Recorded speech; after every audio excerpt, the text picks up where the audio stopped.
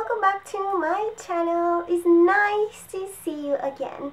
So today I've made for you this look. It's like a really really festive look. I just thought it's a good idea to show you uh, a way to glam up for Christmas or for the days, like festive days that are coming. So yeah, I hope you guys will enjoy this and let's start. I will start with my normal foundation routine and this time I'm using a foundation brush so I can get a smoother finish. I am using two types of liquid foundation so I can get a nice color that matches my skin tone. With the brush, I will apply the foundation on my skin to cover any blemishes or imperfections.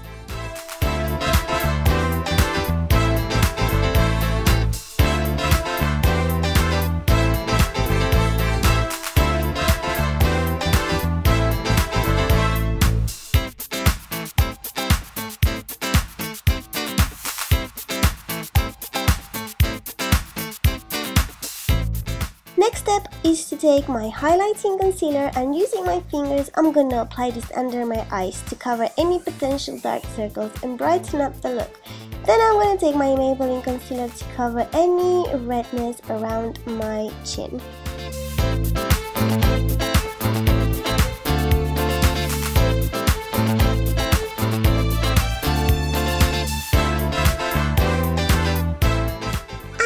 Forget to apply lip balm before moving on to the next steps.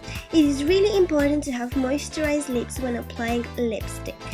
Taking a powder brush, I will apply my Rimmel London Stay Matte powder to set the foundation and concealer, and also to cover any shiny areas. And for my cheeks, I will apply a little bit of highlighter to create that healthy, nice looking glow.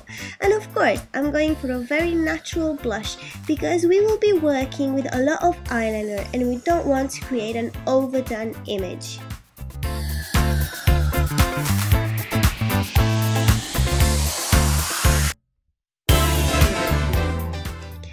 I want to keep my eyebrows as natural as possible and for this I'm only taking a matte brown eyeshadow that matches their color and with an angled brush I'm filling and contouring them.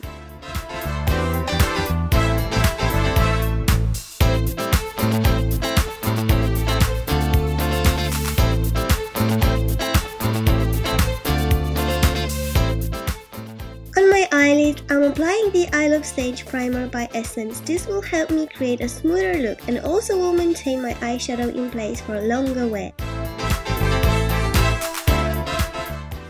I'm starting with a white base primer. This will help me brighten up the colors that I'm using.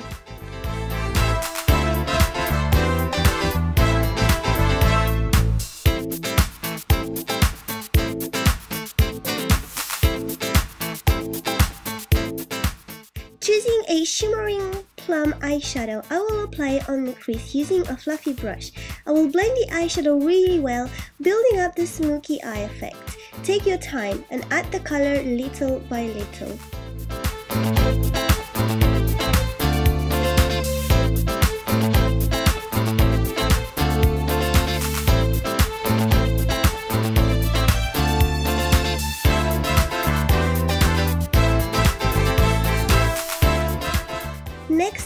Taking a matte white eyeshadow and I will apply it on my eyelids.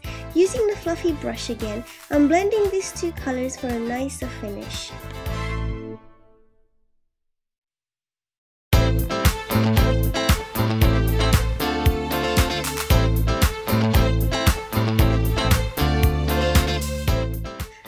This look to be a little more dramatic and I will be applying a shimmering brown eyeshadow in the corner of my eyes by blending it really well for a more defined look. Not forgetting to highlight my brow bone with a beautiful champagne color and after I will go ahead with some more white eyeshadow to maintain that beautiful contrast between the colors.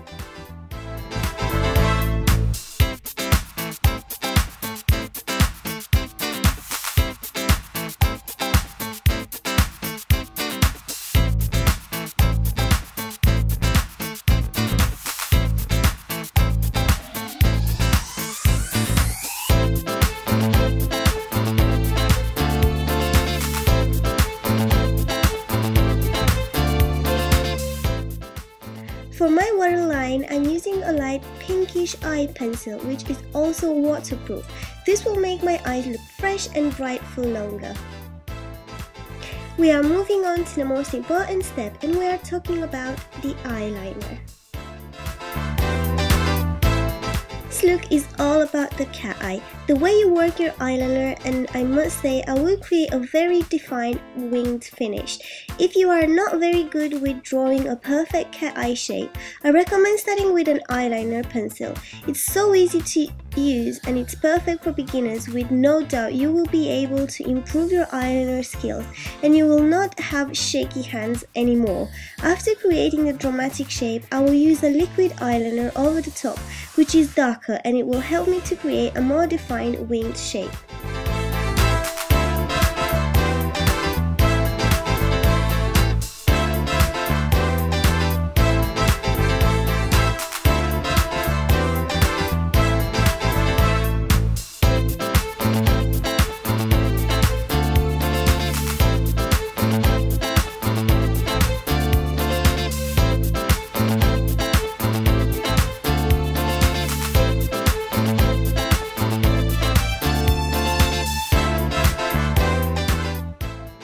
Then apply some black mascara and your eyes will look gorgeous.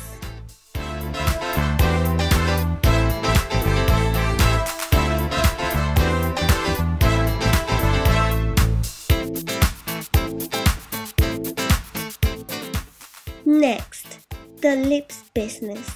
I'm taking this red lip pencil and I will make sure to create that perfect diva look.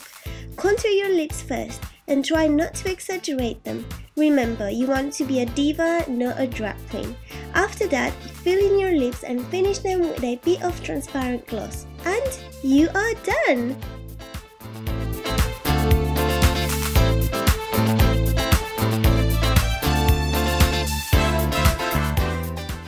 Finish this look by curling your hair with a curling wand and try not to exaggerate the curls.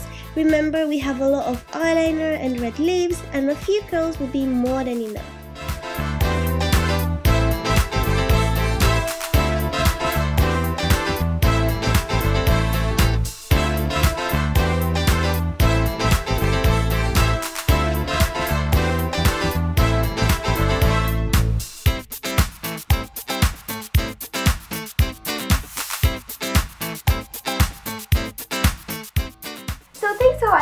Don't forget to write, comment and subscribe for more videos. And if you like me and if you like what I'm doing I am really, I'll be really really happy if you give a thumbs up and leave a comment down below. And don't forget to follow me on Instagram and Facebook. I will leave the links uh, down in the description box. I'll see you next time. Bye